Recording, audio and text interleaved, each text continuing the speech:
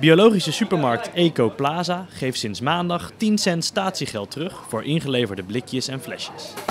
De actie is een groot succes.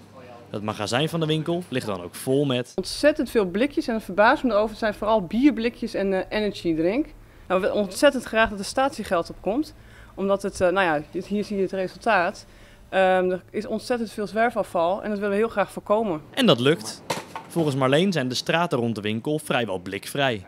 Het lijkt er dus op dat er veel sympathie is voor deze actie. Je ziet het. Echt enorm. Ik ben echt verbaasd, want dit is nog maar het resultaat van twee dagen. Het zijn er eh 5700. 5700 blikjes en flesjes in twee dagen. Daarvoor wordt dus allemaal statiegeld uitgekeerd. En dat kost wat. De actie kan daarom niet eeuwig doorgaan. Ongeveer 10.000 eh, flesjes en blikjes, dat is wel eh, het max voor ons. We zitten inderdaad met een beperkt budget, dus het zou heel leuk zijn als er nog mensen komen sponsoren om het project nog langer vol te kunnen houden. Maar eh, in ieder geval deze week blijft het in ieder geval aan en daarna wordt het herzien. Een mogelijkheid zou hulp van de gemeente zijn.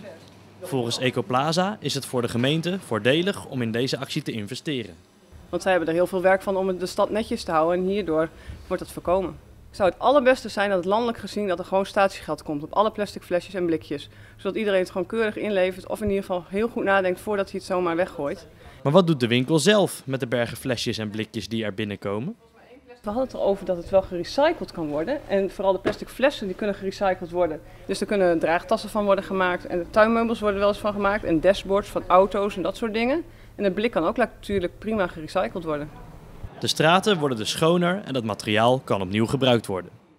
Ook als de actie stopt, roept de winkel op om zelf je afval weg te gooien. Bedenk je goed, onderweg kom je altijd wel een prullenbak tegen. Of neem het gewoon even mee in je tas. En gooi het gewoon ergens op een plek weg. Waar het gewoon hoort, waar het goed afgevoerd wordt. En niet zomaar in de natuur of in de stad.